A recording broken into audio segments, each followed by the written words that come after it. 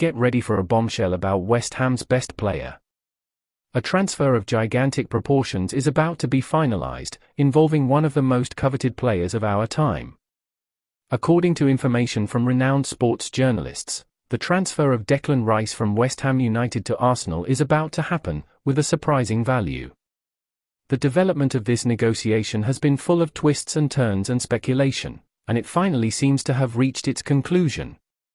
Get ready to discover all the details of this historic transfer that promises to shake the world of football. Are you a fanatic West Ham fan? So you need to subscribe to our channel and turn on the notification bell. By doing this you won't miss any news. And leave your like on this video, it's very important. According to Sky Germany journalist Florian Plettenberg, Declan Rice's transfer from West Ham United to Arsenal will be finalised on Friday. Arsenal and West Ham United had already reached a £105 million deal more a week, but the delay in completing the deal was frustrating the Hammers.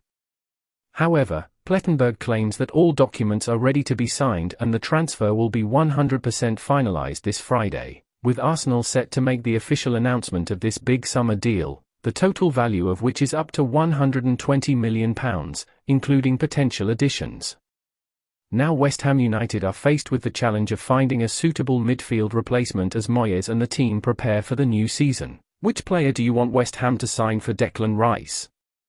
Leave your opinion in the comments, it is very important for our channel. Sign up here if you are a Hammers fanatic and don't forget to leave your like.